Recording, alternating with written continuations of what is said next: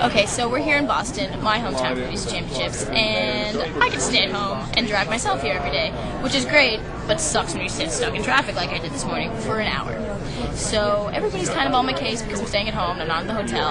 I mean, I really don't care. But everybody I know will be at these championships watching me on Thursday and Saturday, which is a little nerve wracking, but I think it's gonna be a good time. And yesterday was my half birthday. I will be turning 21 in six months, and that's pretty much it. So I'm pretty badass because I'm staying home.